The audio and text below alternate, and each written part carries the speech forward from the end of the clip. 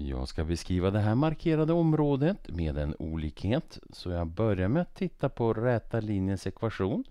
Kx plus m. K-värdet är förändring i y-led genom förändring i x-led. Och m-värdet det är då skärning med y-axel som ligger vid 2.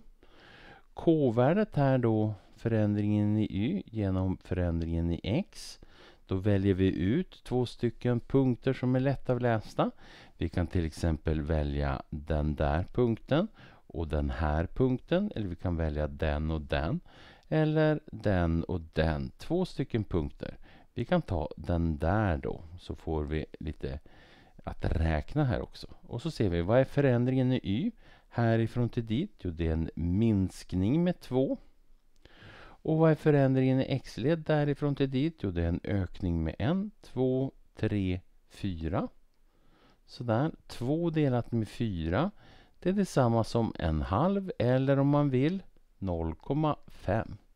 Så våran räta linje blir då ett halvt x, alltså x genom 2 plus m sådär. Och det här m-värdet det är 2 så vi kan skriva 2 där direkt. Så det här är våran räta linje och det markerade områden om området det är ju alla punkter ovanför den här räta linjen.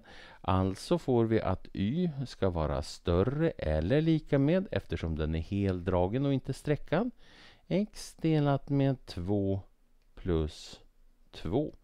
Så där, där har vi vårat svar här. Så.